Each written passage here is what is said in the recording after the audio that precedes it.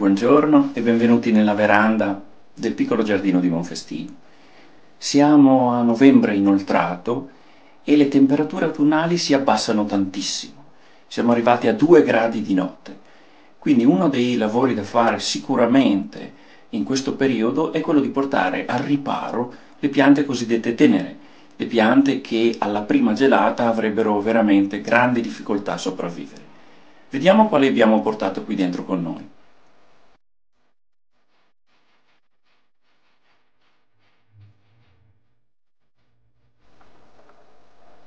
Intanto cominciamo dalle talee che abbiamo fatto in queste settimane, in questi mesi. Ne abbiamo di legnose come liquidambar, ma abbiamo anche piante arbustive come il rosmarino, abbiamo il geranio e abbiamo qualche seme che è germinato e ha cominciato a fare la sua piantina durante l'autunno, cioè delle belle di notte e dei nasturzi.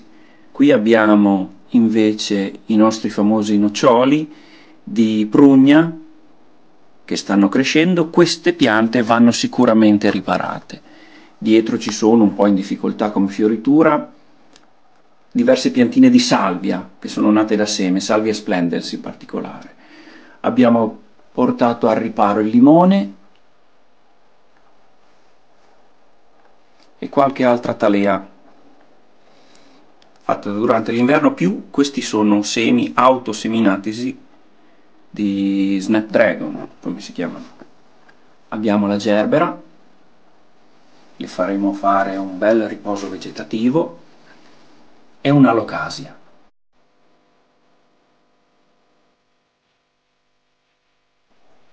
In veranda al riparo già da qualche settimana in questo caso, quando siamo scesi diciamo sotto i 10 gradi, abbiamo tutta la famiglia delle Coleus, questa è la nonna, la madre di tutte le coleus. Allargandoci da una talea è nata questa bellissima figlia e qui ci sono le nipoti. Molto bella la coleus. In mezzo vedete fiorite ancora le dipladenie. Anche appesa quella rossa. L'inverno è molto importante se avete una veranda fredda, appunto, riparare le vostre piante all'interno, oppure se, siete, eh, se avete un appartamento che non avete questa possibilità, comunque di metterle eh, all'interno, non sopra i termosifoni, ma vicini alla luce, perché per l'organismo vegetale la luce è fondamentale. Quindi tranquillamente mettetele a riparo, avvicinatele alla luce, ai vetri, magari non fategli toccare i vetri perché potrebbero eh, bruciarsi le piante. Questo è uno dei lavori molto importanti da fare in questo periodo e da fare prima dell'arrivo delle gelate o di temperature troppo fredde che potrebbero rovinare le vostre piante. Quindi dovete capire bene eh, che tipo di necessità hanno le vostre piante in inverno lasciarle fuori se possono stare fuori, oppure riparare all'interno se ne hanno bisogno. E vedrete che in primavera vi daranno le solite grandissime soddisfazioni.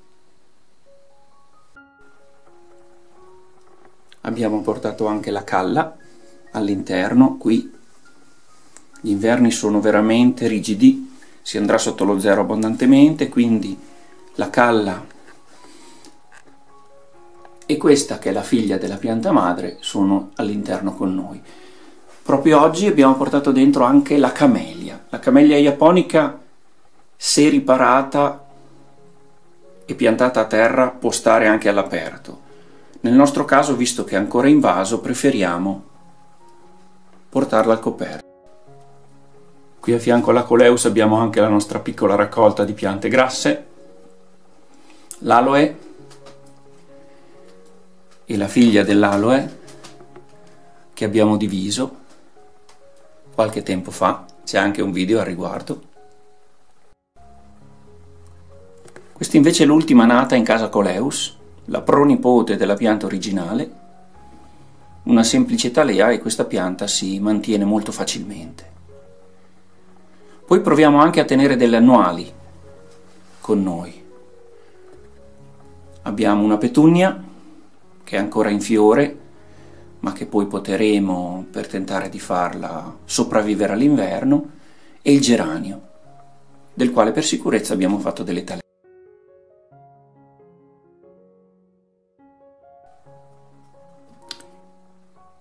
In questo vaso invece abbiamo dei bulbi che quest'autunno,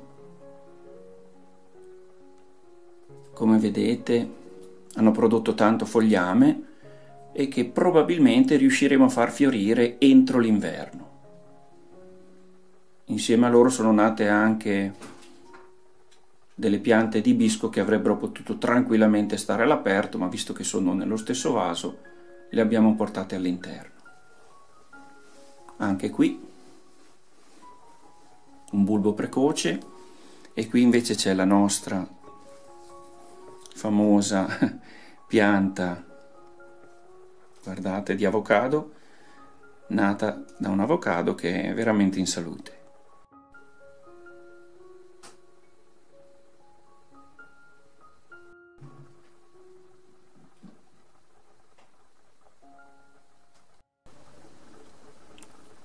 Se invece avete dei vasi con dei bulbi, potete lasciarli all'aperto perché non hanno nessun problema con il freddo, ma riparati dalle piogge intense.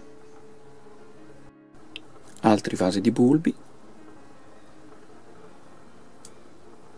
all'esterno, ma riparati dalle piogge.